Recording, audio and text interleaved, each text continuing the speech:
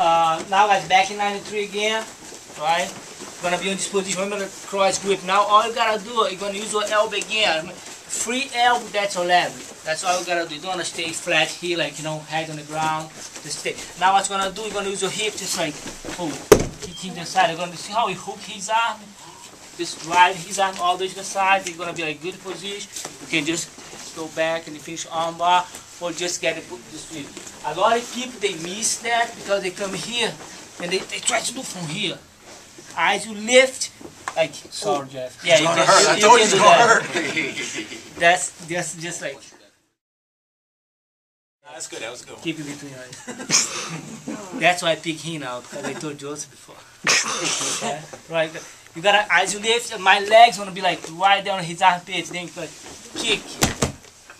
As you kick, just drive his arm to the side. Bring my knee all the way behind his head. He's gonna be on sideways. Just strap his arm. Pull. Back in the armbar. Yes. One more time, guys. We'll do it. One more time, please.